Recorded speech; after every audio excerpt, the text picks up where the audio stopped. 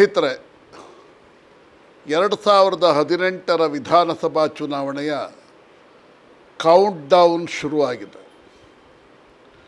ನೋಡಿ, ಈಗ ಈ ದಿನದಿಂದ, ಅಂದರೆ ಆರು, ಐದು, ಎರಡು ಸಾವಿರದ ಹದಿನೆಂಟರಂದು ನಾವು ನಿಮ್ಮನ್ನು ತಲುಪ್ತಾ ಇದ್ದೀವಿ. ಈ ದಿನದಿಂದ ಮತದಾನದ ದಿನಕ್ಕೆ ಆರು ದಿವಸಗಳು ಮಾತ್ರ ಬಾಕಿ ಇದೆ. ಫಲಿತಾಂಶ ಪ್ರಕಟ ಆಗುವ ದಿನ ಹದಿನೈದು ಮೇ ಅಂದರೆ ಒಂಬತ್ತು ದಿನ ಬಾಕಿ ಇದೆ.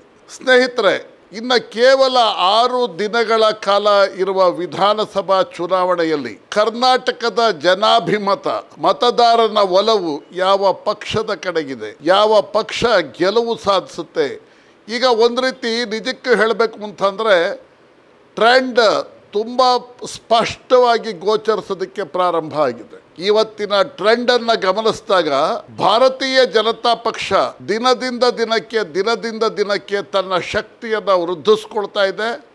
ಅದರ ಜೊತೆಗೆ ಜಾತ್ಯತೀತ ಜನತಾದಳವು ಕೂಡ ತನ್ನ ಶಕ್ತಿಯನ್ನು ವೃದ್ಧಿಸ್ಕೊಳ್ತಾ ಇದೆ. ಕಾಂಗ್ರೆಸ್ ಪಕ್ಷದ ಬೆಂಬಲದ ನೆಲೆ ದಿನದಿಂದ ದಿನಕ್ಕೆ ಕುಸಿತಾ ಇರೋದನ್ನು ನಾವು ಕಾಣಬಹುದು ಸ್ನೇಹಿತರ, ಎರಡು ಸಾವಿರದ ಹದಿನೆಂಟರ ವಿಧಾನಸಭಾ ಚುನಾವಣೆಗೆ ಪೂರ್ವಭಾವಿಯಾಗಿ ಭಾನುವಾರ ಮಾಸಿಕ ಭಾನು ಟಿವಿ ಮತ್ತು ಎಂ ಆರ್ ಐ ಬಿ ತಂಡ ಎರಡು ಸಾವಿರದ ಹದಿನೇಳರ ಮೇ ತಿಂಗಳಲ್ಲಿ ಒಂದು ಸಮಗ್ರ ಸಮೀಕ್ಷೆಯನ್ನು ಕೈಗೊಂಡಿತ್ತು.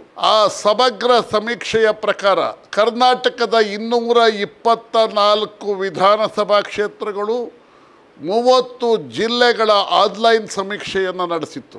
ಜೊತೆಗೆ ಈ ಇನ್ನೂರ ಇಪ್ಪತ್ತ ನಾಲ್ಕು ವಿಧಾನಸಭಾ ಕ್ಷೇತ್ರಗಳು ಮೂವತ್ತು ಜಿಲ್ಲೆಗಳಲ್ಲಿ ಗ್ರೌಂಡ್ ರಿಯಾಲಿಟೀಸನ್ನು ಚೆಕ್ ಮಾಡಿತ್ತು. ಎರಡು ಸಾವಿರದ ಹದಿನೇಳರ ಏಪ್ರಿಲ್ ತಿಂಗಳಲ್ಲಿ. ಆವಾಗ ಭಾನುವಾರ ನಡೆಸಿದ ಸಮೀಕ್ಷೆ, ಅಂದರೆ Bhanu TV, M R I B ತಂಡ ಜೊತೆಗೆ ಭಾನುವಾರ ಮಾಸಿಕ ಇದರ ಸಮೀಕ್ಷೆಯ ಪ್ರಕಾರ, ಎರಡು ಸಾವಿರದ ಹದಿನೇಳರ ಏಪ್ರಿಲ್ ತಿಂಗಳಲ್ಲಿ ಭಾರತೀಯ ಜನತಾ ಪಕ್ಷ ನೂರ ಹದಿನೇಳು ವಿಧಾನಸಭಾ ಕ್ಷೇತ್ರಗಳಲ್ಲಿ ಗೆಲುವು ಸಾಧಿಸುವ ಸಾಧ್ಯತೆ ಇದೆ. ಗಳಿಸುವ ಶೇಕಡಾವಾರು ಮತ ಪ್ರಮಾಣ ಶೇಕಡ ಮೂವತ್ತ ನಾಲ್ಕರಷ್ಟು ಅಂತ ನಾವು ಹೇಳಿದ್ವಿ. ಅದೇ ರೀತಿ ಕಾಂಗ್ರೆಸ್ ಪಕ್ಷ ಶೇಕಡ ಮೂವತ್ತ ಆರರಷ್ಟು ಮತ ಗಳಿಸಿ ಐವತ್ತ ಏಳು ವಿಧಾನಸಭಾ ಕ್ಷೇತ್ರಗಳಲ್ಲಿ ಜಯಗಳಿಸುವ ಸಾಧ್ಯತೆ ಇದೆ ಅಂತ ಹೇಳಿದ್ವಿ. ಇನ್ನ ಜಾತ್ಯತೀತ ಜನತಾದಳ ಶೇಕಡ ಇಪ್ಪತ್ತ ಐದರಷ್ಟು ಮತಗಳಿಸಿ ನಲವತ್ತ ಆರು ವಿಧಾನಸಭಾ ಕ್ಷೇತ್ರಗಳಲ್ಲಿ ಜಯಗಳಿಸುವ ಸಾಧ್ಯತೆ ಇದೆ ಅಂತ ನಾವು ಹೇಳಿದ್ವಿ. ಅದಾದ ನಂತರ ಗುಂಡ್ಲುಪೇಟೆ, ನಂಜನಗೂಡು ಉಪಚುನಾವಣೆ ನಡೀತು.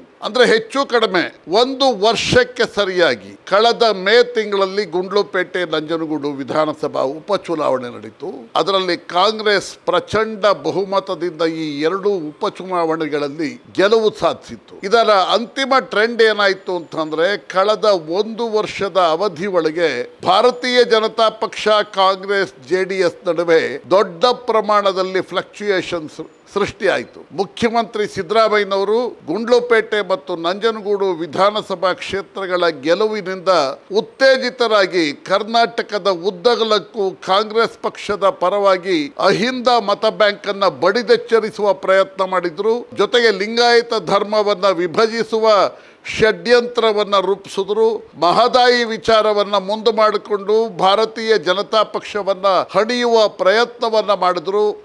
ಇದೆಲ್ಲದರ ಪರಿಣಾಮವಾಗಿ ಎಲ್ಲೋ ಒಂದು ಹಂತದಲ್ಲಿ ಕಾಂಗ್ರೆಸ್ ಪಕ್ಷ ಮೇಲುಗೈ ಸಾಧಿಸುತ್ತೆ ಅನ್ನುವಂತಹ ಅಭಿಪ್ರಾಯ ಸೃಷ್ಟಿಯಾಗಿತ್ತು. ಅದರ ಜೊತೆಗೆ ಸ್ಲೋಲಿ ಜಾತ್ಯತೀತ ಜನತಾದಳವು ತನ್ನ ಶಕ್ತಿಯನ್ನು ವರ್ಧಿಸ್ಕೊಳ್ತಾ ಇತ್ತು ಅದಕ್ಕೆ ಪೂರಕವಾಗಿ ಸಿದ್ದರಾಮಯ್ಯನವರು ಕಾಂಗ್ರೆಸ್ ಶಕ್ತಿಯನ್ನು ವೃದ್ಧಿಪಡಿಸ್ತಾ ಇದ್ರೆ ಅದಕ್ಕೆ ಪೂರಕವಾಗಿ ಭಾರತೀಯ ಜನತಾ ಪಕ್ಷದಲ್ಲಿ ಅಂತಃಕಲಹ ಮುಗಿಲು ಮುಟ್ಟಿತ್ತು. ಈಶ್ವರಪ್ಪನವರು ಸಂಗೊಳ್ಳಿ ರಾಯಣ್ಣ ಬ್ರಿಗೇಡ್ ಅನ್ನು ಸ್ಥಾಪಿಸಿ ಪಕ್ಷದ ಅಧ್ಯಕ್ಷ ಹಾಗೂ ಮುಖ್ಯಮಂತ್ರಿ ಅಭ್ಯರ್ಥಿ ಯಡಿಯೂರಪ್ಪನವರ ವಿರುದ್ಧ ಸೆಡ್ಡು ಹೊಡೆದು ಇದರ ಪರಿಣಾಮ ಏನಾಯಿತು ಅಂತ ಅಂತಂದ್ರೆ ಎರಡು ಸಾವಿರದ ಹದಿನೇಳರ ಏಪ್ರಿಲ್ ತಿಂಗಳಲ್ಲಿ ನಾವು ಪ್ರಿಡಿಕ್ಟ್ ಮಾಡಿದ್ದ ಹಾಗೆ ಭಾರತೀಯ ಜನತಾ ಪಕ್ಷ ನೂರ ಹದಿನೇಳು ಸ್ಥಾನಗಳಲ್ಲಿ ಗೆಲ್ಲುವ ಸಾಧ್ಯತೆ ಕ್ಷೀಣಿಸತೊಡಗಿತು ದಿನದಿಂದ ದಿನಕ್ಕೆ ದಿನದಿಂದ ದಿನಕ್ಕೆ ಕಾಂಗ್ರೆಸ್ನ ವರ್ಚಸ್ಸು ಜಾಸ್ತಿ ಆಗ್ತಾ ಇತ್ತು.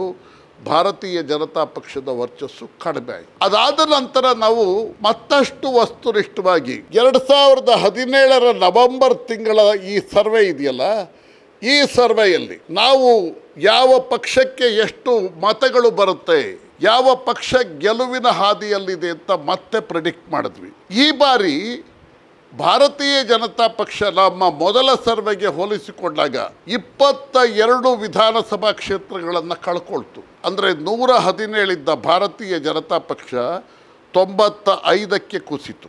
ಐವತ್ತ ಏಳಿದ್ದ ಕಾಂಗ್ರೆಸ್ನ ಸ್ಟ್ರೆಂತು ಹದಿನೇಳು ಜಾಸ್ತಿ ಆಯಿತು. ನಲವತ್ತಾರಿದ್ದ ಜಾತ್ಯತೀತ ಜನತಾದಳದ ಶಕ್ತಿ ಐವತ್ತ ಎರಡಕ್ಕೆ ಏರಿತು ಅಂದರೆ ಆರು ವಿಧಾನಸಭಾ ಕ್ಷೇತ್ರ ಹೆಚ್ಚುವರಿ ಆಯಿತು ಕಾಂಗ್ರೆಸ್ ಎಪ್ಪತ್ತ ನಾಲ್ಕು ವಿಧಾನಸಭಾ ಕ್ಷೇತ್ರಗಳಲ್ಲಿ ಗೆಲುವು ಸಾಧಿಸುತ್ತೆ ಅಂತ ಗೊತ್ತಾಯಿತು. ಇದು ಎರಡು ಸಾವಿರದ ಹದಿನೇಳರ ನವೆಂಬರ್ ತಿಂಗಳಲ್ಲಿ ನಾವು ನಡೆಸಿದ ಎರಡನೇ ಸಮೀಕ್ಷೆ. ಸ್ನೇಹಿತರೆ, ಎರಡು ಸಾವಿರದ ಹದಿನೆಂಟರ ವಿಧಾನಸಭಾ ಚುನಾವಣೆಗೆ ವಿದ್ಯುಕ್ತವಾಗಿ ಮೇ ಹನ್ನೆರಡು ಚುನಾವಣೆಯ ದಿನಾಂಕ ನಿಗದಿ ಆಯಿತು ಇದಕ್ಕೆ ಪೂರ್ವಭಾವಿಯಾಗಿ ಭಾನುವಾರ ಮಾಸಿಕ, ಮಾರ್ಚ್ ತಿಂಗಳ ಕಡೆಯ ವಾರದಲ್ಲಿ ಮತ್ತು ಏಪ್ರಿಲ್ ತಿಂಗಳಲ್ಲಿ ಆನ್ಲೈನ್ ಸಮೀಕ್ಷೆ ಮತ್ತು ಗ್ರೌಂಡ್ ರಿಯಾಲಿಟಿ ಸಮೀಕ್ಷೆಯನ್ನ ನಡೆಸುವ ಪ್ರಯತ್ನವನ್ನ ಮಾಡಿತು. ಅದರ ಸಮಗ್ರ ಮಾಹಿತಿಯನ್ನ ಕಲೆ ಹಾಕ್ತು. ನಮ್ಮ ಪರಿಣತ ತಂಡದ ಎಲ್ಲ ಸದಸ್ಯರು ಕುಳಿತುಕೊಂಡು ಈ ಸಮೀಕ್ಷೆಯನ್ನ ಅಂತಿಮ ಪರಿಣಾಮ ಏನಾಗಬಹುದು ಅಂದ್ಬಿಟ್ಟು ಸಮಗ್ರವಾಗಿ ವಿಶ್ಲೇಷಣೆಯನ್ನ ನಡೆಸಿದ್ವಿ. ಇದರ ಪರಿಣಾಮ ಈ ಸಮೀಕ್ಷೆಯ ಫಲಿತಾಂಶ. ನೋಡಿ, ಮೇ ಒಂದರಂದು ನಮ್ಮ ಸಮೀಕ್ಷೆಯ ಫಲಿತಾಂಶ ಪ್ರಕಟ ಆಯಿತು. ಅದರ ಪ್ರಕಾರ ಭಾರತೀಯ ಜನತಾ ಪಕ್ಷ ನವೆಂಬರ್ ತಿಂಗಳಲ್ಲಿ ಮಾಡಿದ್ದ ಸಮೀಕ್ಷೆಗಿಂತ ಭಿನ್ನವಾದಂತಹ ಫಲಿತಾಂಶ ಬರಲಿಲ್ಲ ನವೆಂಬರ್ ತಿಂಗಳಲ್ಲಿ ಭಾರತೀಯ ಜನತಾ ಪಕ್ಷ ತೊಂಬತ್ತೈದು ಕ್ಷೇತ್ರ ಅಂತ ಹೇಳಿದ್ವಿ. ಕಾಂಗ್ರೆಸ್ ಎಪ್ಪತ್ನಾಲ್ಕು ಅಂತ ಹೇಳಿದ್ವಿ. ಕಾಂಗ್ರೆಸ್ದು ಒಂದು ಇನ್ಕ್ರೀಸ್ ಆಯಿತು. ಜೆ ಡಿ ಎಸ್ದು ಐವತ್ತೆರಡು ಅಂತ ಹೇಳಿದ್ವಿ. ಅದು ಎರಡು ಕಡಿಮೆ ಆಯಿತು. ಪಕ್ಷೇತರರು ಐದು ಹೇಳಿದ್ವಿ. ಅದರಲ್ಲಿ ಒಂದು ಕಡಿಮೆ ಆಗಿ ನಾಲ್ಕು ಆಯಿತು. ನೋಡಿ, ಮೇ ತಿಂಗಳಲ್ಲಿ ಎರಡು ಸಾವಿರದ ಹದಿನೆಂಟರ ಮೇ ಒಂದರದ್ದು ಭಾನುವಾರ ಮಾಸಿಕ ಭಾನು ಟಿ ವಿ ಮತ್ತು ಎಂ ಆರ್ ಐ ಬಿ ತಂಡ ನಡೆಸಿದ ಸಮೀಕ್ಷೆಯ ಪ್ರಕಾರ ಭಾರತೀಯ ಜನತಾ ಪಕ್ಷ ತೊಂಬತ್ತೈದು, ಕಾಂಗ್ರೆಸ್ ಎಪ್ಪತ್ತೈದು ಜೆ ಡಿ ಎಸ್ ಐವತ್ತು, ಪಕ್ಷೇತರರು ನಾಲ್ಕು ವಿಧಾನಸಭಾ ಕ್ಷೇತ್ರಗಳಲ್ಲಿ ಗೆಲ್ತಾರೆ ಅಂತ ಅಂದ್ಬಿಟ್ಟು ಊಹೆ ಮಾಡಿತ್ತು ನಮ್ಮ ಸಮೀಕ್ಷೆ. ಸ್ನೇಹಿತರೆ, ಈ ಸಮೀಕ್ಷೆ ಪ್ರಕಟ ಆಗಿ ಒಂದು ವಾರ ಕಳೆದಿದೆ. ಈ ಒಂದು ವಾರದ ಅವಧಿ ಒಳಗೆ ಭಾರತದ ಪ್ರಧಾನಿ ನರೇಂದ್ರ ಮೋದಿಯವರು ಕರ್ನಾಟಕದ ಉದ್ದಗಲಕ್ಕೂ ವಿರ್ಲ್ವಿಂಡ್ ಪ್ರವಾಸವನ್ನ ಮಾಡಿದ್ದಾರೆ. ಚುನಾವಣಾ ಪ್ರವಾಸದಲ್ಲಿ ಬಿರುಗಾಳಿಯನ್ನ ಎಬ್ಬರಿಸಿದ್ದಾರೆ. ಮತ್ತೊಂದು ಕಡೆ ರಾಹುಲ್ ಗಾಂಧಿ, ಸಿದ್ದರಾಮಯ್ಯನವರ ಜೋಡಿ ಕರ್ನಾಟಕದ ಉದ್ದಗಲ ಪ್ರವಾಸವನ್ನ ಮಾಡಿದ್ದಾರೆ. ಜೊತೆಗೆ ಸೋನಿಯಾ ಗಾಂಧಿಯವರು ಕಾಂಗ್ರೆಸ್ನ ಮಾಜಿ ಅಧ್ಯಕ್ಷೆ ಸೋನಿಯಾ ಗಾಂಧಿಯವರು ಪ್ರಚಾರದಲ್ಲಿ ಭಾಗಿಯಾಗಿದ್ದಾರೆ. ಜೆ ಡಿ ಎಸ್ನ ಅಧಿನಾಯಕ ದೇವೇಗೌಡರು ಕುಮಾರಸ್ವಾಮಿ ಅವರು ಕರ್ನಾಟಕದ ಉದ್ದಗಲಕ್ಕೂ ಪ್ರವಾಸವನ್ನು ಮಾಡ್ತಾ ಇದ್ದಾರೆ. ಮೇ ಒಂದರಿಂದ ಮೇ ಆರರವರೆಗೆ ಈ ಆರು ದಿನಗಳಲ್ಲಿ ಟ್ರೆಂಡ್ ಯಾವ ರೀತಿ ಸೆಟ್ ಆಗೋದಕ್ಕೆ ಪ್ರಾರಂಭ ಆಗಿದೆ, ಯಾವ ಪಕ್ಷದ ಪರವಾಗಿ ಟ್ರೆಂಡ್ ಅಂದರೆ ಜನಾಭಿಮತ ಇದೆ ಅನ್ನೋದನ್ನು ನಾವು ಕಲೆ ಹಾಕಿದ್ವಿ. ಜೊತೆಗೆ ರಾಷ್ಟ್ರೀಯ ವಿದ್ಯುನ್ಮಾನ ವಾಹಿನಿಗಳು, ಮತ್ತು ಬೇರೆ ಬೇರೆ ಮೂಲಗಳಲ್ಲಿ ಚುನಾವಣೆಯ ಸಮೀಕ್ಷೆಗಳು ಪ್ರಕಟಗೊಳ್ಳಿತು ಈ ಹಿನ್ನೆಲೆ ಒಳಗೆ ಭಾನುವಾರ ಮಾಸಿಕ Bhanu TV M R I B ತಂಡ ಆರು ದಿನಗಳಲ್ಲಿ ಏನೇನು ಬದಲಾವಣೆ ಆಗಿದೆ ಅನ್ನೋದರ ಲೆಕ್ಕ ಹಾಕ್ತು. ಸ್ನೇಹಿತರೆ ನೋಡಿ ಎರಡು ಸಾವಿರದ ಹದಿಮೂರರ ವಿಧಾನಸಭಾ ಚುನಾವಣೆಗೆ ಹೋಲಿಸ್ಕೊಂಡ್ರೆ ಭಾರತೀಯ ಜನತಾ ಪಕ್ಷ ವಿಭಜನೆ ಹೊಂದಿದ ಮೂರು ಪಕ್ಷವಾಗಿತ್ತು. ಅದು ಈಗ ಏಕಪಕ್ಷವಾಗಿದೆ ಚುನಾವಣೆ ಸಮೀಪಿಸಿದ ಹಾಗೆ ಮೇ ಒಂದು ದಾಟಿದ ನಂತರ ನರೇಂದ್ರ ಮೋದಿಯವರು ಕರ್ನಾಟಕದ ಉದ್ದಗಲಕ್ಕೂ ಪ್ರವಾಸವನ್ನ ಕೈಗೊಂಡ ನಂತರ ಕೆಜೆಪಿ, ಬಿಜೆಪಿ, ಬಿಎಸ್ಆರ್ ಹಳೆಯ ಬಣಗಳು ತಮ್ಮ ಪರಸ್ಪರ ಕಚ್ಚಾಟವನ್ನ ಮರೆತು ಯುನೈಟೆಡ್ ಆಗಿದ್ದಾವೆ number one number two Congress ಪಕ್ಷದಲ್ಲಿ ಸಿದ್ದರಾಮಯ್ಯನವರು ರಾಹುಲ್ ಗಾಂಧಿ ದೊಡ್ಡ ಪ್ರಮಾಣದ ಪ್ರವಾಸವನ್ನ ಮಾಡ್ತಾ ಇದ್ರು ಎಲ್ಲೋ ಒಂದು ಹಂತದಲ್ಲಿ ಕಾಂಗ್ರೆಸ್ ನಾಯಕತ್ವದಲ್ಲಿ ಬಿರುಕು ಬೀಡ್ತಾ ಇರೋದನ್ನು ನಾವು ಕಾಣಬಹುದು. ಅವರು ಐಕ್ಯತೆಯಿಂದ ಹೆಜ್ಜೆಯನ್ನ ಇಡ್ತಾ ಇಲ್ಲ. ಇನ್ನು ಜೆ ಡಿ ಎಸ್ ಎಂದಿನಂತೆ ದಕ್ಷಿಣ ಕರ್ನಾಟಕದಲ್ಲಿ ತನ್ನ ಶಕ್ತಿಯನ್ನ ದೊಡ್ಡ ಪ್ರಮಾಣದಲ್ಲಿ ವೃದ್ಧಿಸ್ಕೊಂಡಿದೆ ಅದರ ಜೊತೆಗೆ ಸಿಗ್ನಿಫಿಕೆಂಟ್ ಡೆವಲಪ್ಮೆಂಟ್ ಏನು ಅಂತಂದ್ರೆ ಈ ಐದಾರು ದಿನಗಳಲ್ಲಿ ಗೋಚರಿಸ್ತಾ ಇರೋದು ಕಾಂಗ್ರೆಸ್ನ ಪರಂಪರಾಗತ ಮತ ಬ್ಯಾಂಕ್. ದಲಿತರು ಹಿಂದುಳಿದವರು. ಅಲ್ಪಸಂಖ್ಯಾತರು ಬಿಡಿ ಅವರು ಕಾಂಗ್ರೆಸ್ ಪಕ್ಷದ ಪರವಾಗಿದ್ದಾರೆ. ಆದರೆ ಹಿಂದುಳಿದವರು ಮತ್ತು ದಲಿತರು ದೊಡ್ಡ ಪ್ರಮಾಣದಲ್ಲಿ ಕಾಂಗ್ರೆಸ್ ವಿರುದ್ಧ ಬಂಡಾಯವನ್ನು ಹೂಡಿದೆ. ವಾಲ್ಮೀಕಿ ಸಮುದಾಯ ಕರ್ನಾಟಕದ ಉದ್ದಗಲಕ್ಕೂ ಕಾಂಗ್ರೆಸ್ ವಿರುದ್ಧ ತನ್ನ ಅಭಿಮತವನ್ನು ವ್ಯಕ್ತಪಡಿಸಿದೆ. ಮಾದಿಗರು ಸದಾಶಿವ ಆಯೋಗದ ವರದಿಯನ್ನ ಸರ್ಕಾರ ಅನುಷ್ಠಾನಕ್ಕೆ ತರ್ತಾ ಇಲ್ಲ ಅನ್ನುವಂತಹ ಕಾರಣಕ್ಕೆ ಮಾದಿಗರು ಕಾಂಗ್ರೆಸ್ ಸರ್ಕಾರದ ವಿರುದ್ಧ ಅರ್ಥಾತ್ ಸಿದ್ದರಾಮಯ್ಯನವರ ಸರ್ಕಾರದ ವಿರುದ್ಧ ಸೆಡ್ಡು ಹೊಡೆದಿದ್ದಾರೆ. ದಲಿತರಲ್ಲಿ ಛಲವಾದಿಗಳು. ಮಲ್ಲಿಕಾರ್ಜುನ್ ಖರ್ಗೆ, ಡಾಕ್ಟರ್ ಪರಮೇಶ್ವರ್, ಶ್ರೀನಿವಾಸ್ ಪ್ರಸಾದ್ಗೆ ಸಿದ್ದರಾಮಯ್ಯನವರು ಡೆಲಿಬರೇಟ್ ಆಗಿ ಅವಮಾನ ಮಾಡಿದ್ದಾರೆ ಅಂತ ಅವರೂ ಕಾಂಗ್ರೆಸ್ ಪಕ್ಷದ ವಿರುದ್ಧ ತಮ್ಮ ಆಕ್ರೋಶವನ್ನು ವ್ಯಕ್ತಪಡಿಸೋದಕ್ಕೆ ಪ್ರಾರಂಭ ಮಾಡಿದ್ದಾರೆ. ಜೊತೆಗೆ ಅಹಿಂದ ಮತ ಬ್ಯಾಂಕ್ ಅಲ್ಲಿ ಈ ಹಿಂದುಳಿದವರಿದ್ದಲ್ಲ, ಹಿಂದುಳಿದವರಲ್ಲಿ ಅದರ್ ಬ್ಯಾಕ್ವರ್ಡ್ ಕ್ಲಾಸ್ ದೊಡ್ಡ ಪ್ರಮಾಣದಲ್ಲಿ ಕಾಂಗ್ರೆಸ್ ವಿರುದ್ಧ ಸಿಡಿದಿದ್ದಾರೆ ಇದನ್ನ ಗಮನಿಸಿದಾಗ ಕಾಂಗ್ರೆಸ್ ತನ್ನ ಪರಂಪರಾಗತ ಮತ ಬ್ಯಾಂಕನ್ನೇ ಕಳ್ಕೊಳ್ತಾ ಇರೋದ್ರಿಂದ ಈ ಮೇ ಒಂದರಿಂದ ಕಾಂಗ್ರೆಸ್ ಪಕ್ಷ ತನ್ನ ಪರಂಪರಾಗತ ಮತ ಬ್ಯಾಂಕನ್ನೇ ಕಳ್ಕೊಳ್ತಾ ಇರೋದ್ರಿಂದ ಮೇ ಒಂದರಿಂದ ಆರರವರೆಗೆ ಡ್ರಾಸ್ಟಿಕ್ ಚೇಂಜ್ ಅನ್ನ ಕಾಣಬಹುದು. ನೋಡಿ, ಎಲ್ಲ ಸಮೀಕ್ಷೆಗಳು ಭಾರತೀಯ ಜನತಾ ಪಕ್ಷಕ್ಕೆ ಶೇಕಡ ಮೂವತ್ತ ಐದರಷ್ಟು ಮತವನ್ನ ಕೊಡ್ತಾ ಇದ್ದಾರೆ. ಕಾಂಗ್ರೆಸ್ ಪಕ್ಷಕ್ಕೆ ಶೇಕಡ ಮೂವತ್ತೇಳು ಜಾತ್ಯತೀತ ಜನತಾದಳಕ್ಕೆ ಈ ಶೇಕಡ ಇಪ್ಪತ್ತರಷ್ಟು ಮತಗಳ ಆಸುಪಾಸಿನ ಸಮೀಕ್ಷೆಯನ್ನ ನೀಡ್ತಾ ಇದ್ದಾರೆ. ಜೊತೆಗೆ ಎಲ್ಲ ಸಮೀಕ್ಷೆಗಳು ಒಂದು ಹೇಳ್ತಾವೆ, ಕಾಂಗ್ರೆಸ್ ತೊಂಬತ್ತು ಕ್ಷೇತ್ರಗಳ ಆಸುಪಾಸಿನಲ್ಲಿ ಗೆಲುವು ಸಾಧಿಸುತ್ತೆ. ಅದೇ ರೀತಿ ಭಾರತೀಯ ಜನತಾ ಪಕ್ಷವು ತೊಂಬತ್ತು ಕ್ಷೇತ್ರಗಳ ಆಸುಪಾಸಿನಲ್ಲಿ ಗೆಲುವು ಸಾಧಿಸುತ್ತೆ. ಜೆ ಡಿ ಎಸ್ ನಲವತ್ತು ಕ್ಷೇತ್ರಗಳ ಆಸುಪಾಸಿನಲ್ಲಿ ಗೆಲುವು ಸಾಧಿಸುತ್ತೆ ಅಂತ ಹೇಳ್ತಾ ಇದ್ದಾರೆ. ಅಂದರೆ ಇದನ್ನು ನಾವು ಎರಡು ಸಾವಿರದ ಹದಿಮೂರರ ಚುನಾವಣೆಯ ಜೊತೆಗೆ ಹೋಲಿಸ್ಕೊಂಡಾಗ, ನೋಡಿ ಕಾಂಗ್ರೆಸ್ ನೂರ ಇಪ್ಪತ್ತ ನಾಲ್ಕು ವಿಧಾನಸಭಾ ಕ್ಷೇತ್ರಗಳಲ್ಲಿ ಗೆಲುವು ಸಾಧಿಸಿತ್ತು ಎರಡು ಸಾವಿರದ ಹದಿಮೂರರಲ್ಲಿ. ಅದರ ಜೊತೆಗೆ ಜಾತ್ಯತೀತ ಜನತಾ ದಳದ ಏಳು ಶಾಸಕರು ಹೋದರು. ಅಂದರೆ ನೂರ ಮೂವತ್ತ ಒಂದು. ಈ ಸಮೀಕ್ಷೆಗಳು ಪ್ರಿಡಿಕ್ಟ್ ಮಾಡ್ತಾ ಇರುವ ಹಾಗೆ ಕಾಂಗ್ರೆಸ್ ತೊಂಬತ್ತರ ಆಸುಪಾಸಿನಲ್ಲಿ ಗೆಲುವು ಸಾಧಿಸಿದರೆ ಕಾಂಗ್ರೆಸ್ ಕಳೆದುಕೊಂಡ ಸ್ಥಾನಗಳ ಸಂಖ್ಯೆ ನಲವತ್ತ ಒಂದು. ಅಂದರೆ ಕಾಂಗ್ರೆಸ್ ಡೌನ್ವರ್ಡ್ ಟ್ರೆಂಡಲ್ಲಿದೆ ಇನ್ನು ಭಾರತೀಯ ಜನತಾ ಪಕ್ಷ K J P B S R ಮತ್ತು ಭಾರತೀಯ ಜನತಾ ಪಕ್ಷದ ಶಾಸಕರ ಸಂಖ್ಯೆ ನಲವತ್ತ ಆರಿತ್ತು. ಆ ನಲವತ್ತಾರಿದ್ದದ್ದು ತೊಂಬತ್ತಕ್ಕೆ ರೀಚ್ ಆದರೆ, ಆ ನಲವತ್ತಾರಿದ್ದದ್ದು ಆ ನಲವತ್ತಾರಿದ್ದದ್ದು ತೊಂಬತ್ತು ಕ್ಷೇತ್ರಗಳಿಗೆ ರೀಚ್ ಆಗ್ತಾ ಇದೆ ಸಮೀಕ್ಷೆಗಳ ಪ್ರಕಾರ. ಅಂತ ಅಂದರೆ, ಭಾರತೀಯ ಜನತಾ ಪಕ್ಷ ನಲವತ್ತ ನಾಲ್ಕು ಹೆಚ್ಚುವರಿ ಸ್ಥಾನಗಳನ್ನು ಗಳಿಸ್ತಾ ಇದೆ ಅಂತ ಅರ್ಥ.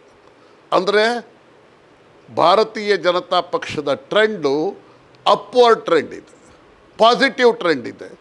ಕಾಂಗ್ರೆಸ್ದು ನೆಗೆಟಿವ್ ಟ್ರೆಂಡ್ ಇದೆ. ಜೆ ಡಿ ಎಸ್ ಕಳೆದ ಬಾರಿ ನಲವತ್ತು ಸ್ಥಾನಗಳಲ್ಲಿ ಗೆದ್ದಿತ್ತು ಸಮೀಕ್ಷೆಗಳು ಹೇಳ್ತಾವೆ ಜೆ ಡಿ ಎಸ್ ಈ ಬಾರಿಯೂ ನಲವತ್ತು ಸ್ಥಾನಗಳಲ್ಲಿ ಗೆಲ್ತಾ ಇದೆ ಅಂತ. ಅಂದರೆ J D S status quo maintain ಮಾಡ್ತಾ ಇದೆ. ಈ ಹಿನ್ನೆಲೆ ಒಳಗೆ. ಈ ಕಳೆದ ಆರು ದಿನಗಳ ಅವಧಿಯೊಳಗೆ ಬದಲಾದಂತಹ ಸ್ಥಿತಿಗತಿಗಳನ್ನು, ರಾಜಕೀಯ ವಿದ್ಯಮಾನಗಳನ್ನು ಗಮನಿಸಿದಾಗ, ನೋಡಿ ದೊಡ್ಡ ಪ್ರಮಾಣದಲ್ಲಿ ಕಾಂಗ್ರೆಸ್ನ ಪರಂಪರಾಗತ ಮತ ಬ್ಯಾಂಕ್, ದಲಿತರು ಕಾಂಗ್ರೆಸ್ ಪಕ್ಷದ ವಿರುದ್ಧ ಹೋಗ್ತಾ ಇದ್ದಾರೆ.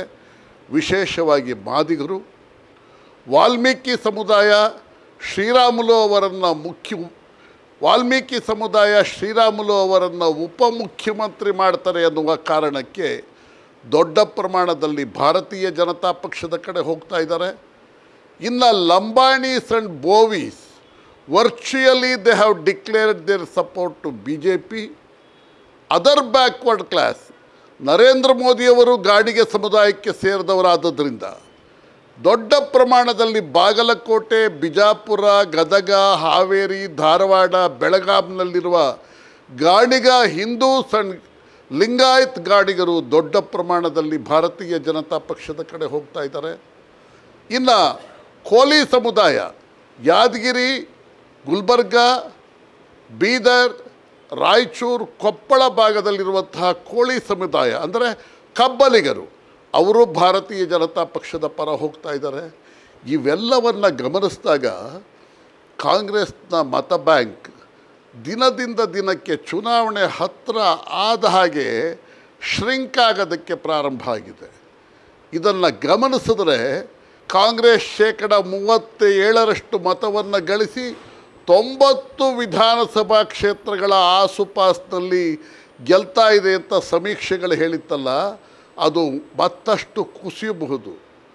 ತೊಂಬತ್ತರಿಂದ ಕಾಂಗ್ರೆಸ್ ಎಪ್ಪತ್ತಕ್ಕೆ ಬರಬಹುದು.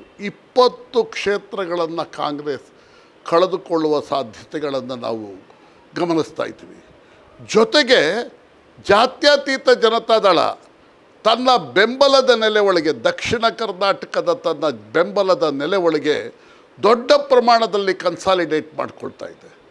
ನಾವು ನಮ್ಮ ಸಮೀಕ್ಷೆ ಒಳಗೆ, ಭಾನುವಾರದ ಸಮೀಕ್ಷೆ ಒಳಗೆ, ಕಳೆದ ಸಮೀಕ್ಷೆ, ಮೇ ಒಂದರ ಸಮೀಕ್ಷೆಯಲ್ಲಿ ಜಾತ್ಯತೀತ ಜನತಾದಳ ಐವತ್ತು ಬರಬಹುದು ಅಂತ ನಾವು ಊಹೆ ಮಾಡಿದ್ವಿ.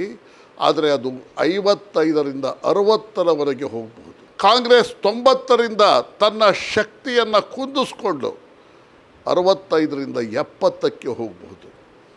ಭಾರತೀಯ ಜನತಾ ಪಕ್ಷಕ್ಕೆ ದಲಿತರು ಹಿಂದುಳಿದವರು, ಈ ಕಾಂಗ್ರೆಸ್ನ ಪರಂಪರಾಗತ ಮತ ಬ್ಯಾಂಕ್ ಏನಿದೆ ಅದು ಕಾಂಗ್ರೆಸ್ ಪಕ್ಷಕ್ಕೆ ಕೈಕೊಟ್ಟು ಭಾರತೀಯ ಜನತಾ ಪಕ್ಷದ ಕಡೆಗೆ ಚೇಂಜ್ ಓವರ್ ಆದರೆ ಭಾರತೀಯ ಜನತಾ ಪಕ್ಷ ತೊಂಬತ್ತರಿಂದ ನೂರನ್ನು ದಾಟಬಹುದು. ತೊಂಬತ್ತನ್ನು ಮೀರಿ ಮುಂದೆ ಹೋಗಿ ನೂರರ ಗಡಿಯನ್ನು ದಾಟಬಹುದು.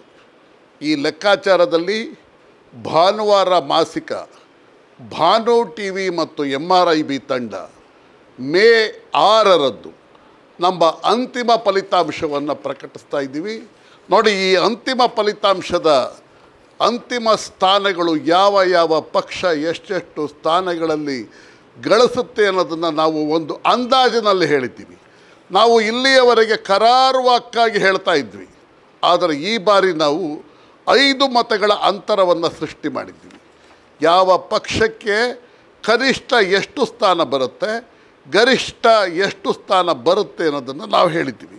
ಅದರ ಪ್ರಕಾರ ಭಾರತೀಯ ಜನತಾ ಪಕ್ಷ ನೂರ ಒಂದರಿಂದ ನೂರ ಆರು ವಿಧಾನಸಭಾ ಕ್ಷೇತ್ರಗಳಲ್ಲಿ ಗೆಲುವು ಸಾಧಿಸುವ ಸಾಧ್ಯತೆ ನಿಚ್ಚಳವಾಗಿದೆ. ಇನ್ನು ಕಾಂಗ್ರೆಸ್ ಅರವತ್ತ ಮೂರು ವಿಧಾನಸಭಾ ಕ್ಷೇತ್ರಗಳಿಂದ ಅರವತ್ತ ಎಂಟು ವಿಧಾನಸಭಾ ಕ್ಷೇತ್ರಗಳಲ್ಲಿ ಗೆಲುವು ಸಾಧಿಸಬಹುದು.